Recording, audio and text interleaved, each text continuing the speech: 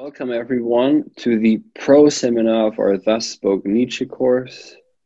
After seven weeks of lectures and seven weeks of seminars, it's now the time for the students to present their talks. I'm very much looking forward to them. The abstracts look very good. The first one is Javier Rivera. Take the stage, Javier. Right. Um, Okay, so where do I begin? Um, so the abstract that I wrote here is has an has a Heideggerian uh, influence here. Um, the whole point is to trace Nietzsche's thought and what it will unravel. In Zarathustra, Nietzsche writes, "Let your will say, the overman shall be the meaning of the earth." I once made the assertion that Nietzsche does believe in meaning. However, I will not be making that assertion today. Um, the, the way to go about this is to begin how do we question what does meaning mean? What does the earth mean? Sort of addressing the obvious, right? So in this case, what is the most unquestioned is what we will be pursuing here. So I must make it clear that what I'm attempting here is not a systematic approach, but rather a pointing to in the light of Islamic thought. The objection to this uh, may be said that this would fail to reach Nietzsche's thinking itself, that this would be the very prejudice of religion that Nietzsche wished to be free of. But this objection is also a prejudice against man himself, where one has presupposed a conventional understanding of the definition of religion as a simple moral hypothesis, uh, a mask to the will of deception.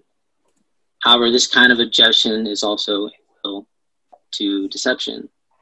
If we're going to tackle religion seriously, we should see the historicity of religion, um, where Iqbal defines religion as the expression of man.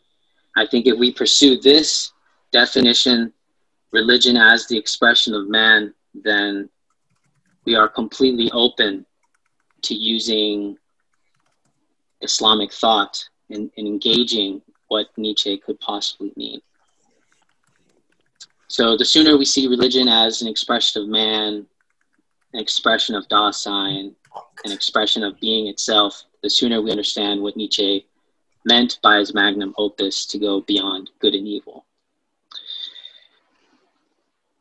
Allama Iqbal has forever intimated that Nietzsche was a product of a mystical experience that drove the depths of his very being.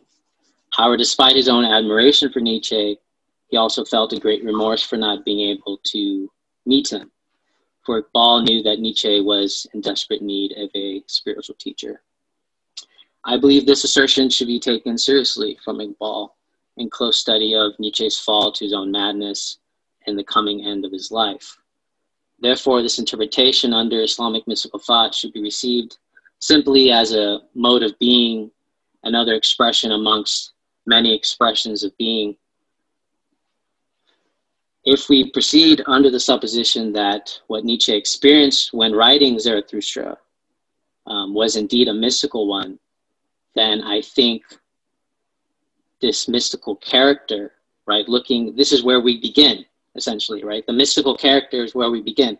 He wrote Zarathustra through inspiration, right? A mystical, of mystical character. So I think this is the privileged witness, right? The privileged beginning that we can start with, right? It's not just looking at um, what Nietzsche said, but where it began, what provoked him to write Zarathustra in the first place, what what made him write it in like a couple of days, basically, right? At least portions of it. A character of which one has had such experiences, and contrary to those that have not. If we are truly to make a path towards Nietzsche's thinking itself, this mystical character should be realized as the dimension of which it originates. This is the mood that we must enter. Therefore, I believe Ibn Arabi is this privileged um, witness that we should have a comparison or trace his thought to. He is known in the Islamic world as the great sheikh, the great teacher. He is no stranger to mystical experiences.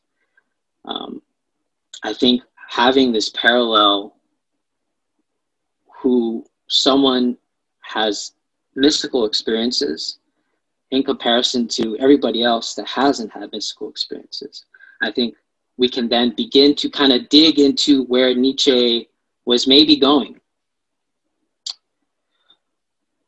For, you know, Ibn Arabi also wrote works um, within a few days of inspiration. So there is some pragmatic uh, parallels when someone has a great inspiration, a great mystical experience. So now that we've established the dimension of which we'll proceed, um, what then is meaning? Um, in etymology, if you break it down, it, the noun can be meninge, meninge as, as sense, right? Meaning can be sense. Um, so if we go back to the sentence, if the overman shall be the sense of the earth, then what is to be sensed? Um, but I, I, think even starting off this is kind of getting us a little lost here. Maybe we should begin with what is what is earth, right? If you break down earth, we can talk about land, mass, you know, a habitat, a planet. But if we use the definition abode of man, this can open up avenues for us to further explore. In light of Ibn Arabi's thinking, man is a, represent- uh, is a representative of earth. But when man is represented in this way, man is female. Therefore, earth now carries a feminine characteristic. Terms such as Mother Nature now seem to carry a deeper historical significance in the psyche of human thought. If man is female in the context of earth, um, then we can freely translate abode of man as the dwelling place of woman. But I guess the what I'm trying to say is if we take abode of man on a more micro scale, right, then the the woman, right, has the womb in which gives birth.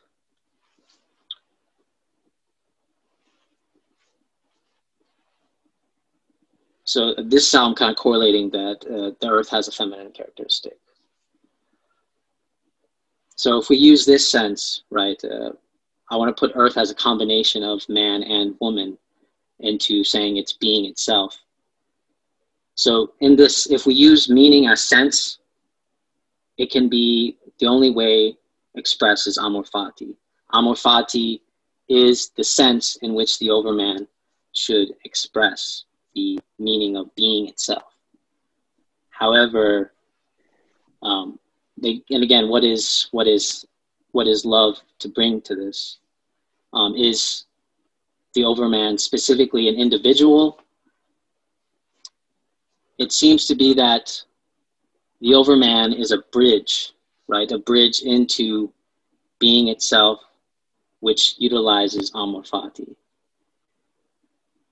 And if we look at love as a movement, then the overman is simply one that goes with this movement, realizes the being itself. As Nietzsche once quoted, where one can no longer love, there one should pass by. So this is, in essence, a movement, right? The overman is the one who realizes the movement of love itself.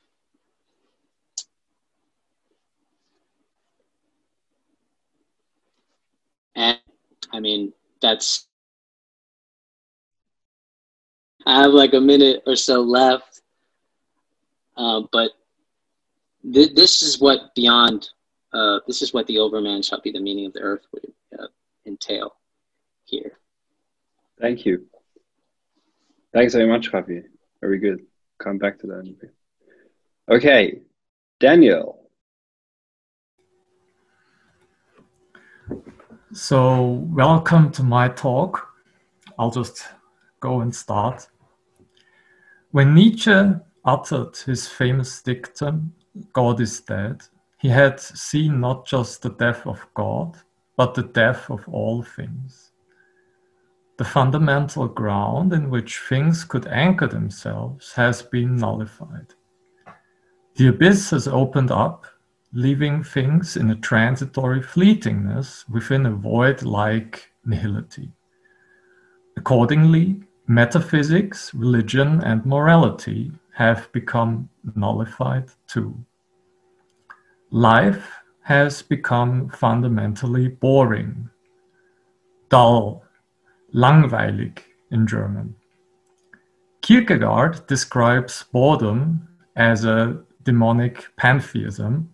Quote, pantheism ordinarily implies the quality of fullness. With boredom, it is the reverse. It is built upon emptiness, but for this very reason, it is a pantheistic qualification. Boredom rests upon the nothing that interlaces existence. Its dizziness is infinite, like that which comes from looking down into a bottomless abyss. The pantheistic nihilization we are talking about here is hollowing all things out, yet in a very thorough, demonic manner. It is total in that sense.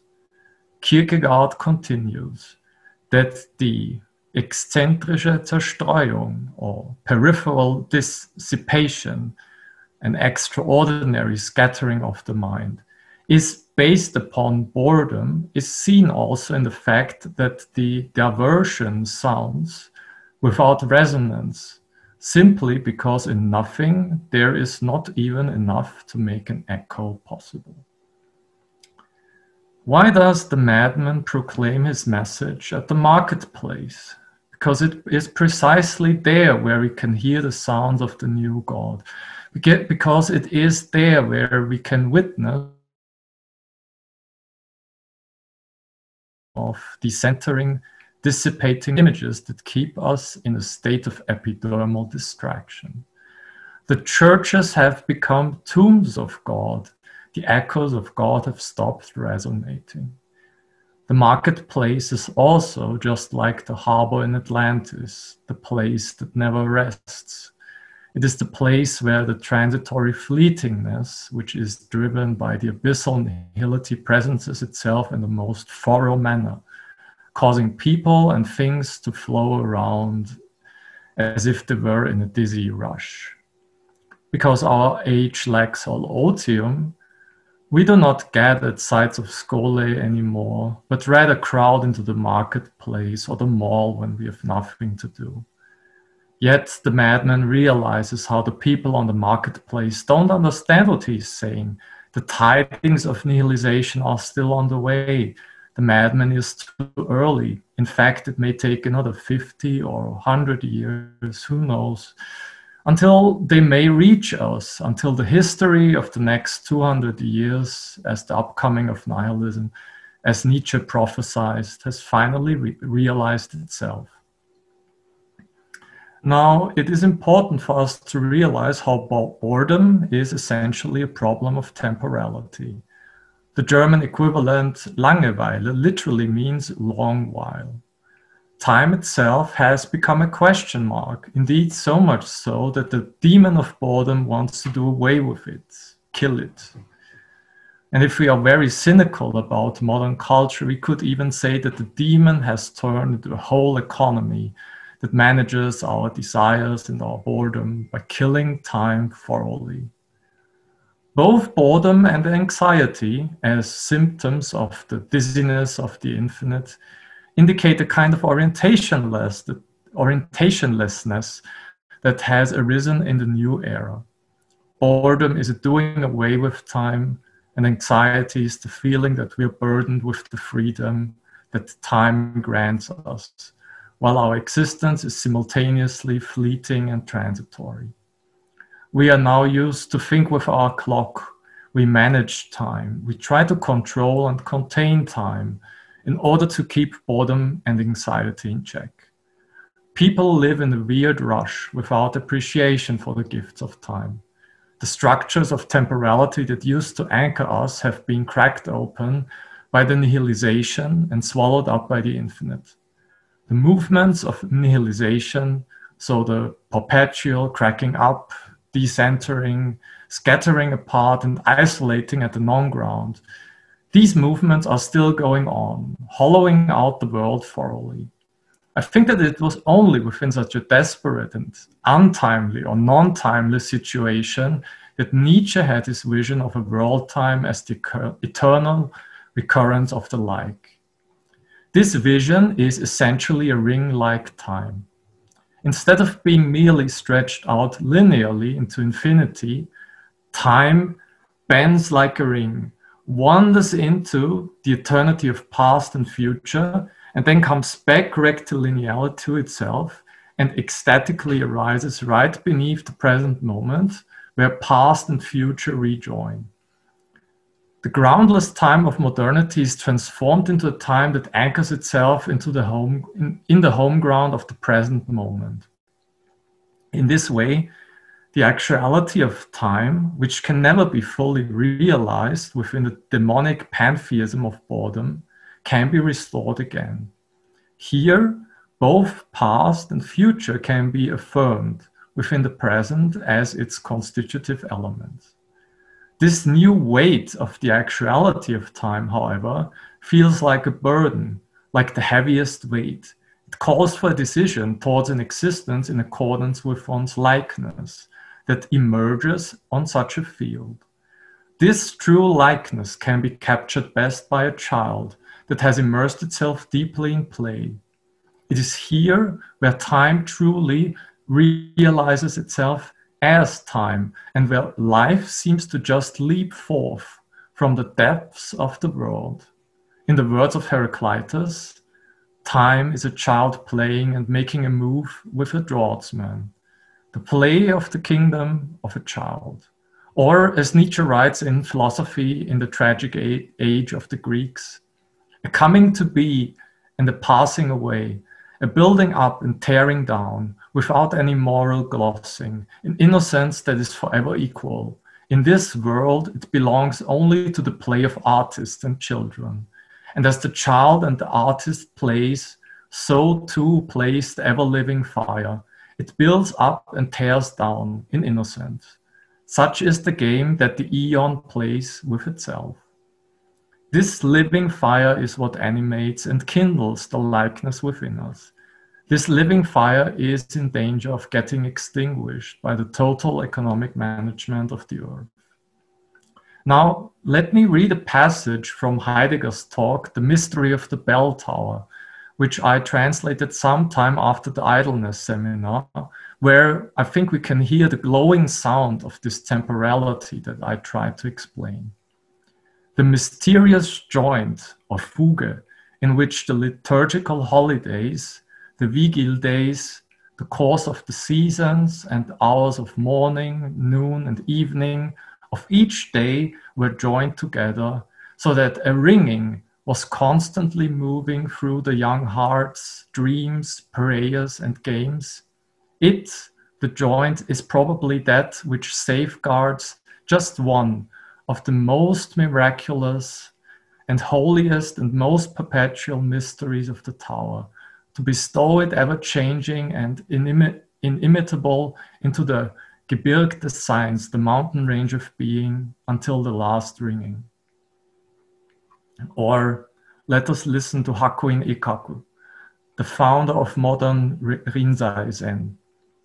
Before all the kalpas, so that's world times, past and after the, all the kalpas to come. A marvelous spiritual light glints with austere chill in the sheath of a hair-splitting blade. A round gem, shining in dark night, is brought forth on its tree. Then Hakuin adds, Yesterday at dawn I swept the soot of the old year away. Tonight I grind and knead flour for the New Year's sweets. There is a pine tree with its roots and an orange with its leaves. Then I don new clothes and await the coming guests. One minute. In these examples, Daniel, Daniel, one minute. Thank you. I'm, I'm almost finished. In these examples, time is still appreciated as a gift, We can also hear the ringing of the mysterious joint Heidegger talked about. Breathe the fresh air of a space time where boredom is wholly absent and where a perpetual play of the like occurs. The aspect shift from the privative nihility towards the superlative emptiness is just that. Things are not scattered apart and flowing aimlessly in the soup of nihility. No, everything is joined together mysteriously, without a why, and things leap forth with a true likeness from out of which they self-standingly arise. Die Rose ist ohne Warum, sie blühet, weil sie blühet. The rose is without a why, she blossoms because she blossoms, says Angelus Silesius, the German poet and mystic from the Baroque era. The dizzying decentering of the privative nothing that has been unleashed by our tearing up of the infinite horizon is transformed and gathered into concentrated play within the home ground of the present, within the world time of the eternal recurrence in which time becomes whole again. The no-thinging horror of boredom becomes the play of the innocent becoming of the worlding world. Thank you very much for listening. Thank you very much for the talk. Uh, Herr Zarobar, almost like Zarathustra, thus spoke Saruman. Well, oh, that sounded like Saruman. or like the, the Tsar, the Tsar in Russia. and now we, yeah, and now it's Leonard's turn. Let's see if you can replicate the heart of your abstract in your talk. Yeah, let's see. Okay, I also start and I have make a timer, so I will cut off when it's like over ten minutes. So um, I, I, just um, make the outline for what I um, want you to. Then I also wrote more about. So if you're interested, then you can read it, of course. And it's about um, the poetry, um, tremulous, um, and fingernails. Um, okay, and it's more of an erratic take. So suffer, be afraid, think. To start with this quote from Terra in Transe, World in Trance, also called Land in Anguish, Earth in Trance by Glauber Rocha. The events of Terra in Transe takes place in the imaginary state of El Dorado. The protagonist, protagonist and narrator Paulo Martins, as his life ebbs away, he's actually deadly wounded by the police. He recalls the events which led to his personal and political defeat. Four years earlier, he had been the poet protege of the writist Porfirio Diaz before leaving him in order to explore a more political kind of poetry. Paolo timidly expresses a desire to speak of politics in a new kind of poetry. The subsequent events of the film, however, show the precise political limits within which poetry and art may generally operate. It becomes obvious that Vieira prefers his political poets to be safely buried in the past. In a shot whose backlighting and rectangular composition may somewhat recall Jean Luc Godard, we see Paolo aim his camera out of his apartment window and take a photograph, while his off screen voice comments, I, for example, devote myself to the vain exercise of poetry. The vain exercise of poetry. So in this movie, we deal with the alliances somehow, warpings, condemnations, confusions, bewilderments of poetry and politics. And now we come to Nietzsche, and I cite um, Alex McIntyre, through his vision of grand politics, Nietzsche offers us a poetry of the future that attempts to imaginatively develop, fortdichten, a higher image of being human, an image of a great and beautiful soul. Moreover, because greatness for Nietzsche implies a soul that is loving and encompassing and spacious, it must take itself back into the innocence of becoming and embody a communion and joy that embraces and affirms what is coming to be in the past and present. In this sense, the great and beautiful soul personifies a joy in the actual and active, says Alex McIntyre. And McIntyre raises it all, right? For a Nietzschean poetry of the future greatness, beauty, love, innocence, joy. Now, let us fed in some Nietzsche here about love, re- rejoice, which we obviously did too, too little, he says, and beauty and art. What is love but understanding and rejoicing that another lives, works, and feels in a different and opposite way to ourselves? that love may be able to bridge over the contrasts. By Joyce, we must not remove or deny those contrasts. If love is to bridge these antitheses, through joy it may not deny or seek to abolish them. Even self love presupposes an unblendable duality or multiplicity in one person. Human and human all to human. This whole book is nothing but a bit of merrymaking after long privation and powerlessness, the rejoicing of strength that is returning of a reawakened belief in a tomorrow and the day after tomorrow of a sudden sense of an anticipation of a future, of impending adventures, of seas that are open again, of goals that are permitted again, believed again, preface to the gay science. And the essence of all beautiful art, all great art, is gratitude. I want to learn more and more to see as beautiful what is necessary in things. Then I shall be one of those who make things beautiful. Looking away shall be my only negation. So, moreover, and this is David Deane in Nietzsche and Theology, he says, For Nietzsche, the beautiful in itself is not even a concept, merely a face. And reversing Schopenhauer, for whom the object orients and is mirrored by the subject, for Nietzsche, man really mirrors himself and things, that which gives him back his own reflection. He considers beautiful. Ultimately, for Nietzsche, aesthetics is a product of the will to power. It's man's deepest instinct that of self preservation and self aggrandizement is still visible in such sublimated forms. So I ask, doesn't beauty Nietzsche tones seems to be somewhat or only scarcely beautiful thing. We have to learn to see things as beautiful. Things give us back our own reflection that we consider beautiful in the first place. Far more, we, we seem somehow burdened with the task, maybe responsibility to make things beautiful. The artist, like the God of the creation, remains within or behind or beyond or above his handiwork, invisible, refined out of existence, indifferent paring his fingernails. This is me quoting James Joyce in A Portrait of the Artist as a Young Man. And now, cut another movie, Macunaíma, 1969. He couldn't tell people from the machines and that worried him. In, in this movie, Macunaíma by Mario de Andrade, mother bird Macunaíma and he does not speak. So let's stick with this. Nietzsche does have an intriguing relation to language. He wants, uh, he wants to and must partake in a dialogue which is not yet his one, I would say. His voice breaks through and his thoughts diverse into obscure space of thinking. Tremulous, I will call it, and want to say with this, his voice does not have this tremulous, but this tremulous is what makes up his voice.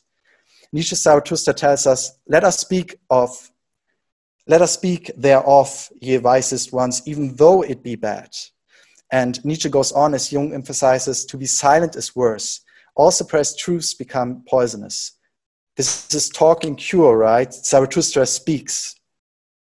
And also in Terra in Transe, the protagonist say, says, wearing my heart or soul on my sleeve, tongue, let's say tongue in German, it's tongue, the, the, the saying. And again, I sank into the depths of my senses, Paulo says. So one step further, tremulous, not as an oscillating sounding, but as an aphonia moment in speech, singular, not simply conserved. For if we want to draw nearness to the trembling it, and get closer to it, leap into it, so to say, make it come about for us, we need poetic language. So this is somehow for me the end of philosophy, something, something like that. So it's a fulcrum, a logical moment, unreachable, resistant, pre-logic, prehistoric in a way.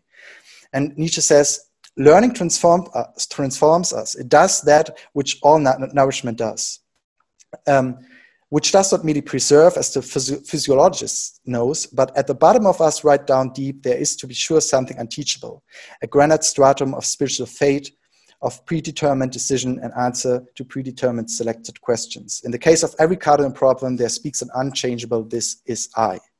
So here we are on the task of education, and Timo Hoyer says on Nietzsche, the task of education is to provide the means by which the destiny carved in granite can be exposed or freed up, one could perhaps say.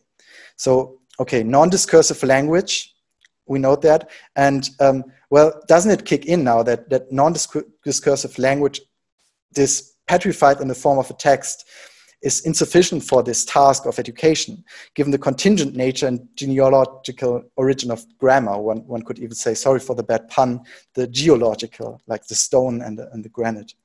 Okay, so now cut again. Fingernail reflections. In 1879, Nietzsche suffered by septic inflammation under his fingernails. Maybe by from teaching because that caused him too much too much stress in the time. One says. So now Deleuze, um, concerning or questioned concerning his fingernails. He says, My fingernails, which are too long, which are long because I don't cut them. Well, wouldn't one's life be less painful if one's fingernails remain constantly and at an ideal state? asked Harry Ausmus. One might say, and it's true, that I dream of being not invisible but imperceptible. And the closest I can get to the dream is having fingernails I can keep in my pocket, says Deleuze. So with Nietzsche, we have looking away, and with Deleuze, somewhat, somewhat this holding away or keeping away, as it seems. So Nietzsche's fingernails, this is Ida Overbeck, like he, uh, she was really um, contemporary um, of, of Nietzsche. Nietzsche's fingernails, he said after meeting Nietzsche, had a peculiar form. They were arched and sank at the points one thought of a high flying bird up in the blue sky. Nietzsche's demeanor was amiable, could have even a trace of femininity.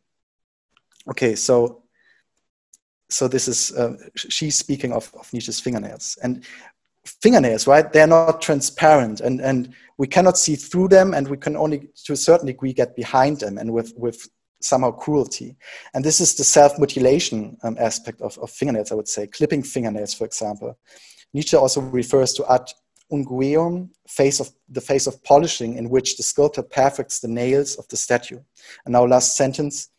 Um, ah, yeah, and and um, last sentence. So, see, so Nietzsche also refers to uh, Lucian, and um, and there, there, the fingernails and death are crucial for German gods, interestingly, because um, the particular particu particular qualities of the ship that sails before the final battle Ragnarok in Lucian, the ship that is called Naglfar also becomes loose.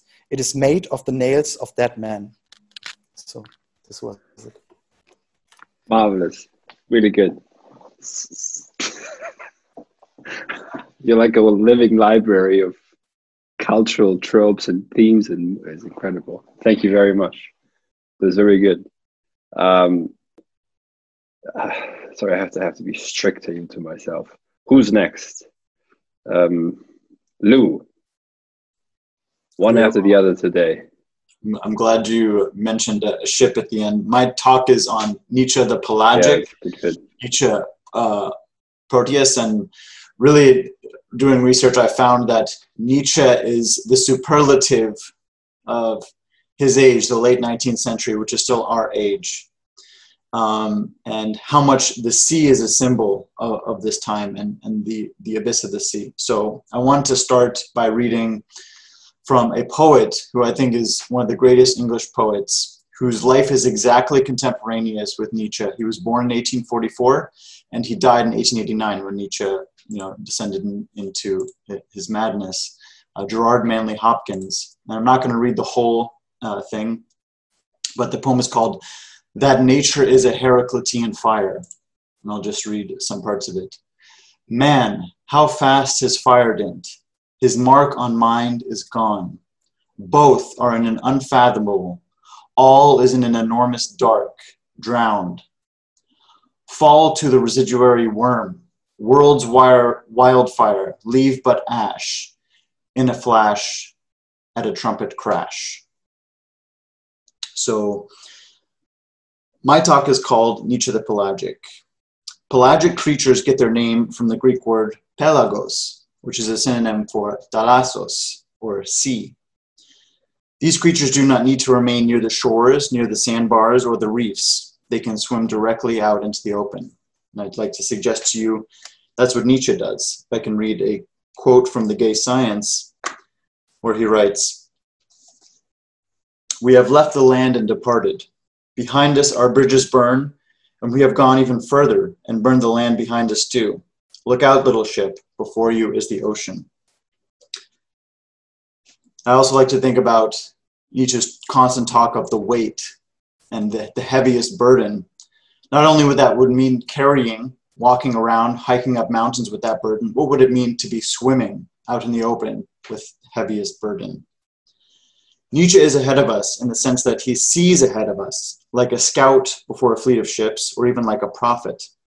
And so the future he sees for his epoch, which is our epoch, is that we too are following him out to sea. You can think of the quote where Nietzsche says, Ever since Copernicus, man has been drifting out from the center into an unknown X. this ocean, this sea, is our freedom, but it is also an abyss, the often quoted uh, line from Nietzsche that you stare long enough into the abyss and it stares back into you. But I want to suggest another way in which Nietzsche is pelagic. In Homer's Odyssey, through Menelaus, we learn about the sea god and the sea prophet, Proteus. He's almost impossible to catch, to pin down, wrestle with him. He transforms into seals, into fish, into sharks, into whales. Very hard to capture him, but the rewards are tremendous if you can. Proteus is a shapeshifter. He takes as many forms as the mysterious sea displays. That's been my experience these past weeks in rereading Nietzsche. I found him so hard to pin down and to pigeonhole into any positions or theses. So I want to talk about that. I also want to talk a little bit about how Nietzsche is the superlative of his age, how he's paradigmatic uh, of these many things. You know, one of the greatest novels of the 19th century is Moby Dick. It's about a crew chasing this mysterious creature out in the open. Gerard Manley Hopkins, who I mentioned before, almost an exact contemporary of Nietzsche, his most famous poem is called The Wreck of the Deutschland, which was a ship named Germany that was wrecked at sea. In 1871, when Nietzsche, was in uh, Basel, and just before he used to publish The Birth of Tragedy, there was the Franco Prussian War. In the aftermath of this war, in a battlefield littered with dead Prussian soldiers, the poet Rimbaud walked around and felt that his age was coming to an end. Um, I imagine in some timeline, perhaps there's there's a world where Nietzsche and Rimbaud met on the battlefield, um, but it wasn't this one. Um, Rimbaud's great uh, partner before he quit poetry, feeling that was over, was uh, Verlaine. Verlaine is actually more famous than Rimbaud, or more well liked at least in, in France, and uh, so much so that his name has become a verb or, or a noun. In, in French slang, you can reverse a word instead of saying c'est fou, it's crazy, you say c'est ouf, you just reverse it. And one of Verlaine that I really like is this author, this German author, Mynona. You can guess the uh, Verlaine there. It's Anonyme. That was his nom de plume, was Anonyme, Mynona. And Mynona was a Kant scholar, but he also wrote one of the first biographies of Nietzsche. His teacher was a man named Ernst Marcus, who's a somewhat unknown neo Kantian. But uh, Ernst Marcus uh, had fights about the value of Kant's philosophy, the value of German idealism, the legacy of philosophy, much as Nietzsche thought about this legacy. And he fought with a man named Erich Adickes. And Erich Adickes is more well known because he had a tremendous controversy with yet another thinker, philosopher, scholar named Haeckel. Not Hegel, the German philosopher, but Ernst Haeckel, who was the most famous biologist of the time. And although he's almost completely forgotten today, he was one of the best selling authors of the late 19th century. And I have this book that's very aptly named Art from the Abyss. Haeckel is very famous for sketching these beautiful uh, illustrations of creatures that were pulled from the HMS Challenger voyage that was looking to find life at the bottom of the ocean to see if life existed. And so while he was drawing these, these famous uh, Kunstformen in the 1880s, Nietzsche was writing his most famous works. And uh, I would go into a longer discussion about biology and, and things like that. Um, but just to say that uh, one of Haeckel's last books he wrote was uh, trying to completely eliminate Kant from science. He wanted Kant to have no place in, in the way we, that science was conducted. However, the way that he understood art, and he studied art in Naples, um, was very Kantian in a way. He saw purpose in teleology and nature. So on, on the one hand, we have an affirmation of Kant and, and, and also a denial. And again, I, I think Nietzsche thought through these themes uh, in a in a very deep way. Um,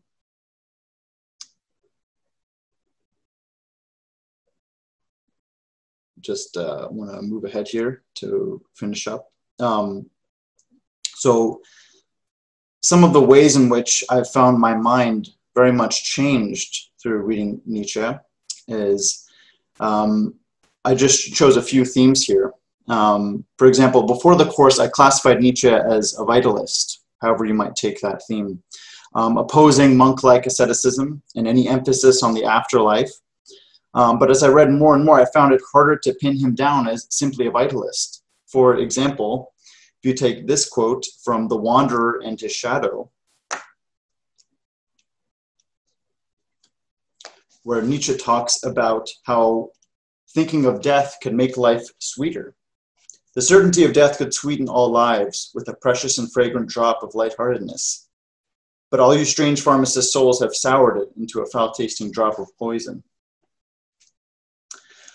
And so to simply classify him as a vitalist, you know, everything that affirms life, uh, I found that, you know, again, he slips away in that respect.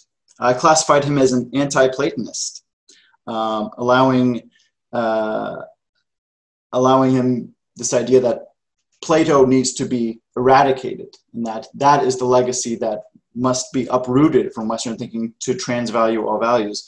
However, I found thinking about some interesting parallels. For example, in the eternal recurrence, if Nietzsche is foretelling the Zukunft, the future that is to come, the future of nihilism for the Western man,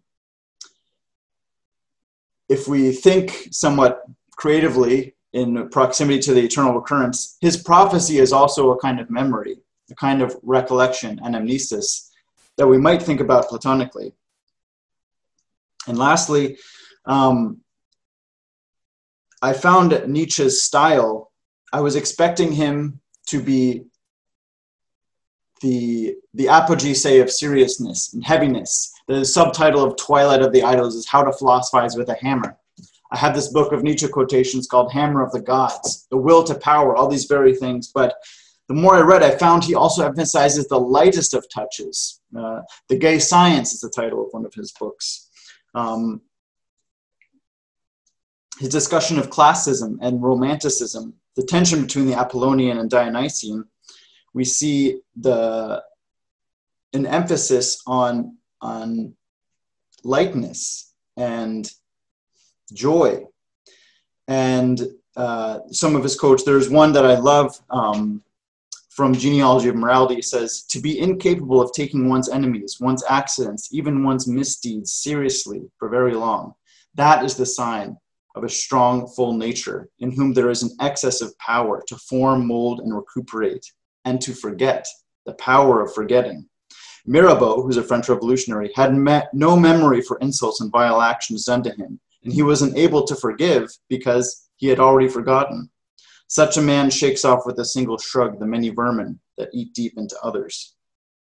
And there you can find many quotes like this. And so I found that uh,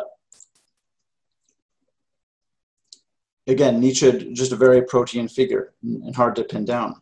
Um, in German, the abyss is Abgrund. Is there a kind of ground in the abyss itself? Did Nietzsche attain this? And this explains how he was able to dwell in the open as a pelagic creature. If so, I would suggest that Nietzsche was in some sense pointing beyond even the abyss to a new kind of guiding ground guiding origin that is perhaps higher than the abyss as a ruling principle. In Greek, we might say arche. Nietzsche found this adventure through an encounter with Greece. And remember, in Greek, we might translate ground or grund, conceived as ruling principle, as arche. Nietzsche sought this arche of the abyss, of the ocean, of the pelagos. And so we might name him the pelagic thinker seeking the archipelago, is this archipelago Greece? Sometimes Nietzsche names the home that we are looking for as the world of Greece. And to just end, I'd like to read another Manley Hopkins poem called uh, in honor of the halcyon nature of Nietzsche's thinking in this guild. The poem is uh, As Kingfishers Catch Fire. As kingfishers catch fire, dragonflies draw flame. As tumbled over rim and roundy wells, stones ring, Like each tuck string tells, each hung bell's bow swung finds tongue to fling out its broad name. Each mortal does one thing and the same. It deals out that being indoors where each one dwells. Selves goes itself, myself it speaks and spells, crying, What I do is for me, for that I came. I say more, the just man justices keeps grace, that all his goings graces. And there, anyway. Thank you, so Lou. scatter talk, but thank you for, thank you for inviting me. Thank you very much, Lou. Very good. Very broad, And you should definitely also keep writing on that.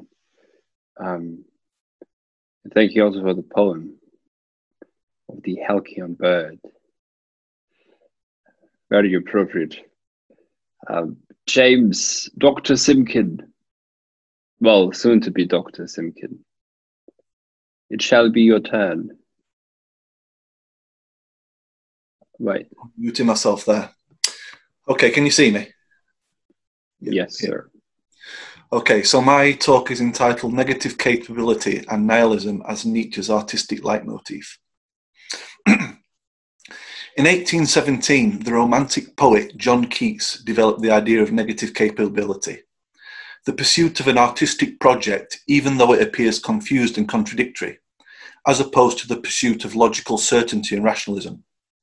This paper will use the concept of negative capability to explore the possibility that for Nietzsche, far from being the obvious state of existence, nihilism perhaps became an act of faith for him, the underpinning of his atheology upon which he built his positive vision of life as a work of art. In order to embellish this claim, the paper will then also draw on quotations from Burden of Dreams, the documentary covering Werner Herzog's filming of Fitzcarraldo deep in the Peruvian rainforest, in order to show how Herzog's similarly nihilistic and chaotic view of the universe nonetheless leads him to produce great works of cinematography.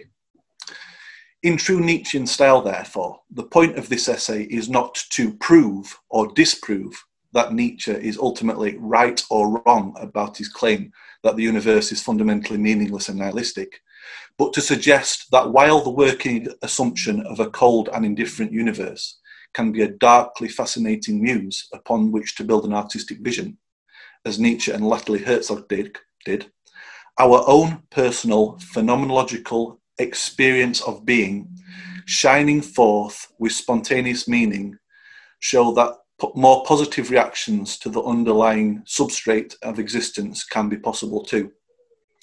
The first aim of this essay, therefore, is to show how Nietzsche's critique of truth itself actually opens the way for a more sympathetic interpretation of his claims to nihilism as the true nature of being. For Nietzsche, the empirical truth of a statement is perhaps the least important thing about it.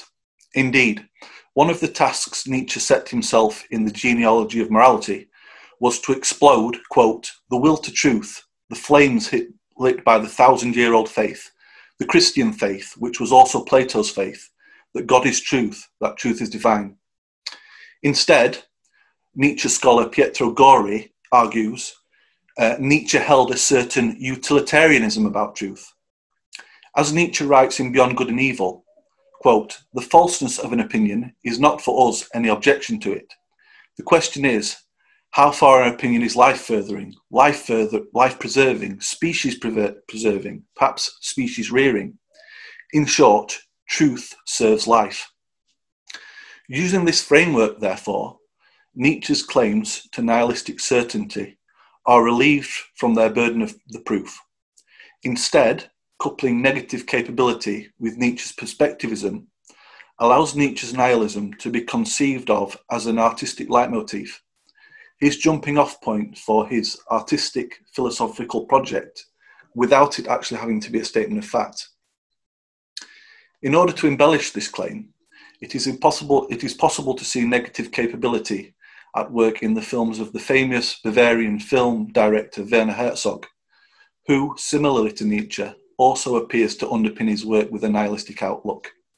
In The, Burdens of, the Burden of Dreams, a documentary made about the making of Herzog's film motion picture, Fitzcarraldo, filmed deep in within the Peruvian rainforest, Herzog holds forth on his feelings about the jungle in which they are surrounded.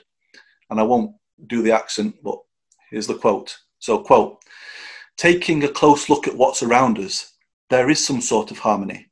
It is the harmony of overwhelming and collective murder. And we, in comparison to the articulate vileness and baseness and obscenity of all this jungle, we, in comparison to that enormous artic- articulation, we only sound and look like badly pronounced and half finished sentences out of a stupid suburban novel, and we have to become humble in front of this. Overwhelming misery and overwhelming fornication, Herzog continues. Overwhelming growth and overwhelming lack of order. Even the stars up here in the sky look like a mess. There is no harmony in the universe. End quote. As captivating as Herzog's wonderfully dark prose is here, one can't but help feel a smile cross one's face. It feels a little too performative, a little too contrived. Herzog and Nietzsche's nihilistic stance leads them to great artistic accomplishments in their respective fields, but it is an artistic stance nonetheless, rather than a statement of fact. So, just as Nietzsche and Herzog assert their nihilistic vision of existence, so too we may assert that a, a phenomenological reflection on our own daily experience of being seems to show us that, yes, we experience negative emotion, nihilistic moods, the 3 a.m. thoughts, the dark night of the soul, so to speak, but we also experience times of great positivity where meaning seems to spontaneously shine forth from the activities we are engaged in. Nietzsche, of course, understood this. For him, music in particular was a great conduit of meaning. It must be cheerful and yet profound, like an October afternoon, he writes in Ecce Homo. I'm coming to the conclusion now. Indeed, as Joshua informed me, in, in his book Anti Nietzsche, Malcolm Bull uh, writes about how, quote, the collapse or eradication of value in one sphere simply leads to its re-emergence elsewhere, end quote.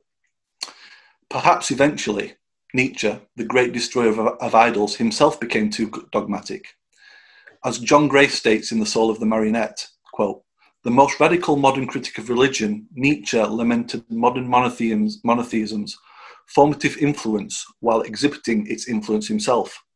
The absurd figure of the Übermensch embodies the fantasy that history can be given meaning by the force of human will. Aiming in his early work to restore the sense of tragedy, Nietzsche ended up promoting yet another version of the modern project of human self uh, assertion. Thus, far from the universe being a valueless void, it seems that, like in a game of metaphysical whack a mole, value keeps re emerging all over the place, not least in the act of valuation itself. To conclude, perhaps the ultimate critique of Nietzsche's nihilistic vision might therefore be that far from the universe being void of meaning, maybe it is too full of meaning. Thank you. Very good, James. Thank you very much. Thank you. Um, I'm, as always, very amazed by all your papers, and we'll we'll try and publish them again. By the way, I sent off the uh, Heidegger papers to Steve this week, so that should come up at some point. So, Joshua, you were just quoted And now it's your turn. Professor Hansen. Excellent. Uh, many thanks, Johannes. Uh, and I think it's very apropos. This kind of goes right in line with what James was talking about. Uh, so, my presentation is entitled Nietzsche's Republic The Elevation of Art Over Morality and Its Implications. And so, the title referencing is referencing Nietzsche's turning of Plato on his head my philosophy is an inverted Platonism. He wrote in a fragment from 1870 to 71. And so while Plato began from the good to which arete or virtue cohered in the birth of tragedy, Nietzsche famously proclaims that only as an aesthetic phenomenon are existence in the world eternally justified. And despite distancing himself from a certain romanticism and taking the more analytical turn of his middle period, for instance, Human All Too Human, Nietzsche never fully recanted, writing in Will to Power, for us, only the aesthetic judgment is law, and many other quotations. So for Nietzsche, aesthetics arise from the art impulses of nature, uh, for instance, dreams and intoxications, which come to represent his Apollonian and Dionysian. Here's a quote uh, Man lets his dreams lie to him at night his whole life long, his moral sense never trying to prevent it. Uh, because Nietzsche pushed Kant to the absolute limit, the Apollonian or dream state illusion becomes tantamount to everyday life in some sense uh, a riff of Johannes from the lecture where he says, The presupposition of all thought is the lie. And so, if truth for Nietzsche is the irresolvable tragedy at the heart of existence, Socrates and Plato have suppressed that truth by overshadowing the tragic poets and bringing in an epoch of Socratic moralism to Nietzsche's mind, a denial of life. Nietzsche notes that Plato had to burn his poems to follow Socrates, who thought that philosophy was preparation for death. For Nietzsche, art is mightier than knowledge, for it wants life, and knowledge attains as its ultimate end only annihilation.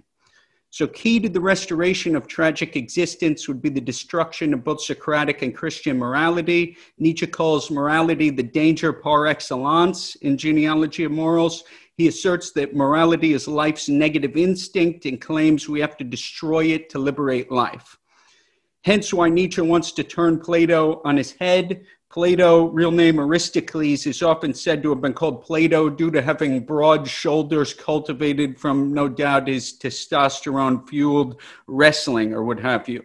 Yet, according to Philodemus's History of the Academy, Plato's parents gave him the nickname due to having a massively broad forehead, uh, so big that it actually once gave him away while in disguise. And so, by dint of this monumental forehead, if nothing else, perhaps Plato can survive Nietzsche's inversion. We should recall that Nietzsche lavishes extremely rare praise on Plato, calling him the most powerful philosopher we've yet seen in Beyond Good and Evil. So, no question, we now live in a Nietzschean age. Nietzsche may be now the most name dropped philosopher of all time, paradoxical considering that his works were written for the few, require understanding the history of philosophy, including Kant, and are offered with the caveat that few will or can understand. It's unlikely that even Nietzsche would approve of his immense pop cultural cachet uh, as his works were carefully and intricately limited by Nietzsche himself. And so rather than asking who has, the question might be which pop cultural celebrity hasn't quoted Nietzsche?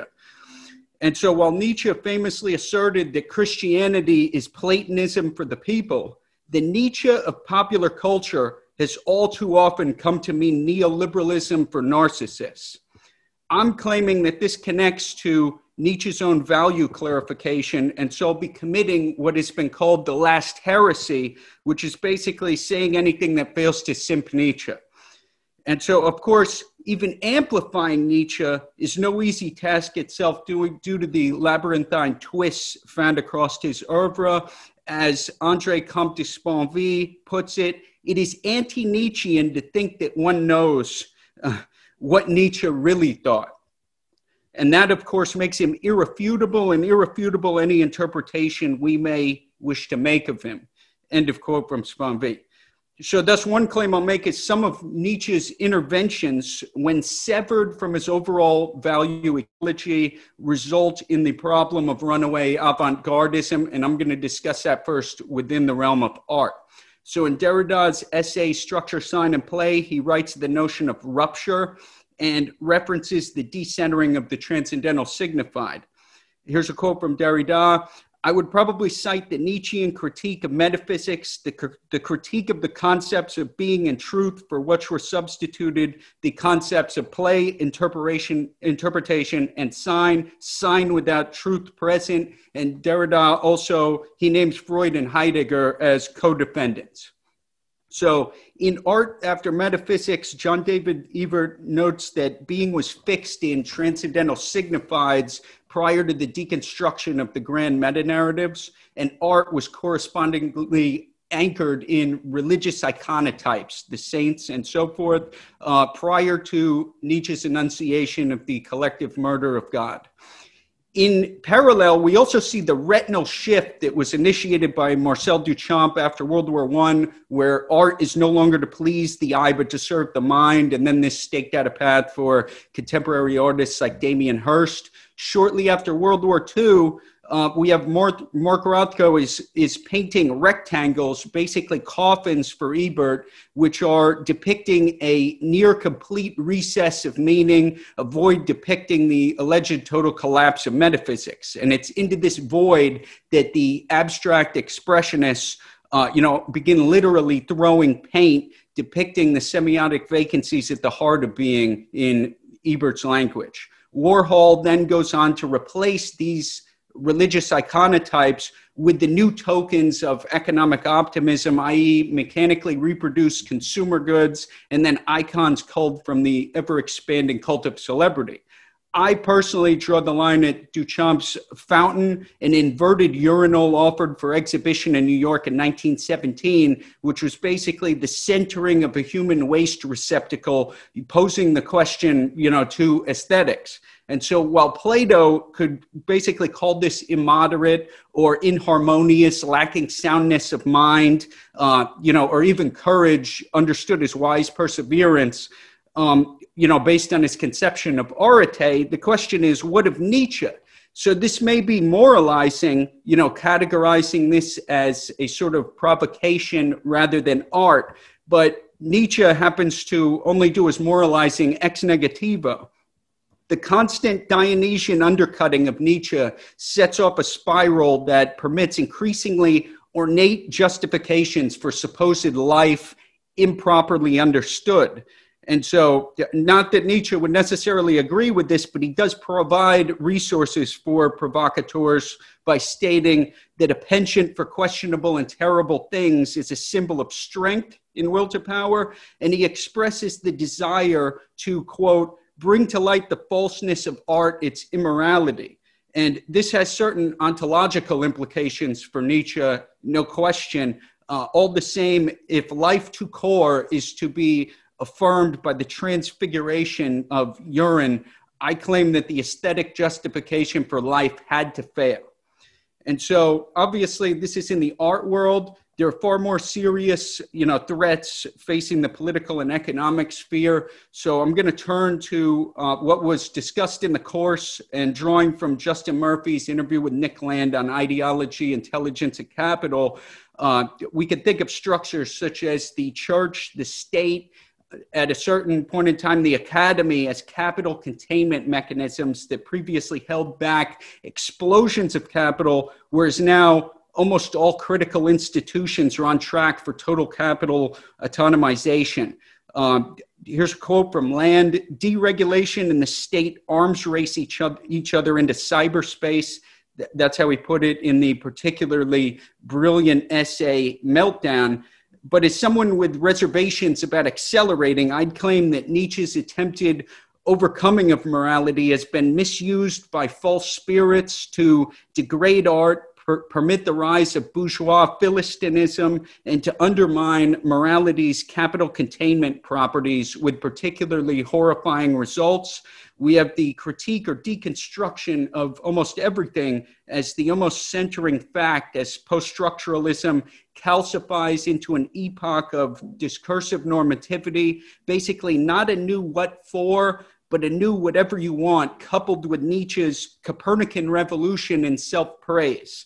As Peter Sloterdijk recounts, for much of history, people tried to place themselves closely to the objects of eulogy or praise. For instance, you know, by praising the team that you are a part of.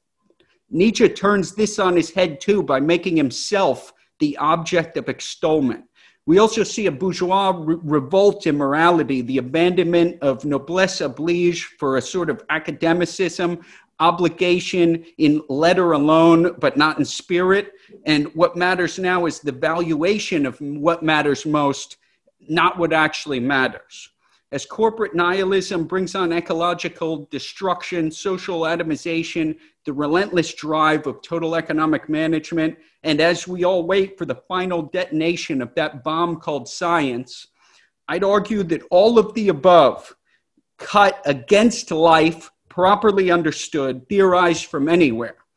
And that the status of the moral hypothesis today, therefore, maybe that the overcoming of morality sought out ac- across the birth of tragedy beyond good and evil twilight of the idols will to power etc at least taken a la carte is exposed as life diminishing empirically suggesting dionysian explosions and recurrences of a suppressed antiquarian concept we thought we'd passed which would be bad what if the last man is not Fukuyama's but Spengler's, the Roman soldier at Pompeii who stayed at his post because he wasn't properly relieved. There seems to be a catharsis and tragic affirmation there as well, exhibiting something that perhaps even Nietzsche would affirm.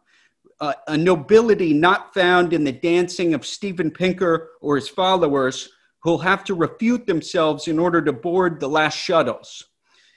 If art as tragic existence might be seen to exhibit equiprimordiality and simultaneity with morals, then that would be the reputation of Nietzsche. That's the end of my presentation. Thank you very much. Uh, you know, great to see everybody. Very much enjoyed the course. Cheers. Thank you, Professor Hansen. I think that was your best one so far, and I've heard many of you. I, yes, everyone's applauding. I'm applauding for real. That was very good. Thank you. I look forward to reading that also. It's one of the things I'm thinking is I will have to finish the book at some point, and I will probably quote a couple of you then. Um, so thanks very much. Now, Nick, you have the honor to okay finalize it all. You're the uh, that's a lot of pressure. Not the last man. You're the the ultimate. That's different. Okay, Nick, go ahead. Yeah. Um, my talk is just sort of a riff on just sort of thoughts I've been having throughout the course. It's a riff on sort of nihilism, Nietzsche, and sort of I'm an aspiring fiction writer, so it's a riff on narrative a lot. And me being the token accelerationist, I think I'm going to be pushing back against Joshua's talk a little bit. But so let's get to it. Nihilism is nothing but too much time. When people without enough to do begin to look for something, that's when the problems start. This quote is from Nick Land's horror story Chasm, and it frames the problem of nihilism as a problem of time. The problem of meaning only emerges when one lacks something to do, when nothing grabs oneself, and one lacks something to kill time. This is the pro- precisely the problem the characters in Chasm face. The story is not one of any pressing needs on the characters, but one of a lack a lack of anything to kill time, and are thus forced to grapple with the problem of meaning. A problem that eventually leads to dark thoughts coming to the surface and ultimately murder and violence in response to these dark revelations. The characters simply had too much time. So, in the following talk, I use Nick Land's framing of nihilism as too much time in order to argue that nihilism is precisely a problem of narrative, where narrative traditionally acts as a call to action to fill our time in a certain way. However, Nietzsche complicates this notion of narrative as a simple call to fill our time in a certain way with his concept of the eternal recurrence of the like. This thought complicates our notion of time by making it nonlinear and thus asks us to come up with new narratives to confront this new notion of time. To that regard, I'll draw upon the film Arrival, to give an example of what these new narratives might look like and therefore what meaning making might look like in the face of the eternal recurrence. Okay, so all narratives act as a means to fill time. A very simplistic view of narrative that you might have learned in English class or something is that it's a call to action that eventually comes to fruition and a climax and therefore concludes. So when looked at in this way, all narratives acts as a compression of time. It's a call to action to orient yourself towards a future goal or a resolution of a conflict in the future. In this way, narratives acts as a bulwark against nihilism. It demands one to kill time now in order to achieve something in the future, thereby answering Nietzsche's famous definition of nihilism as there is no why. Narratives answer the question of why by answering that, the, that it's for the sake of some future goal and therefore killing time. The problem laid out by Nietzsche is that we now lack any given or ingrained narratives in which we can orient ourselves in time and therefore, and therefore provide this time with meaning. After the death of God and the death of the Christian moral hypothesis, we are thrown into a world without any inherent demands our, on our time, without any, broadly speaking, better future state to strive towards. The human race, it seems, face the same problem as the characters in Chasm, the problem of too much time and no demands on how to fill it. Now, the simple reading of Nietzsche would just say that the solution to this problem is through creating and affirming our own projects and narratives as sort of like our own will to power. And this is like a way to fill our time and solve the problem of meaning. But I would like to complicate this picture by throwing in Nietzsche's eternal recurrence of the like into the equation. The eternal recurrence is not some simple thought experiment, as Heidegger points out, but the key to an entirely new metaphysical understanding of time Nietzsche asks us to imagine an infinite expanse of time where inevitably every combination of matter and energy are reproduced infinitely across this infinite expanse of time. This is the view of the universe Nietzsche asks us to take seriously because this is the view, view of the universe that happens after the death of God, and this is the universe that we live in. So, how are we supposed to find meaning within this universe?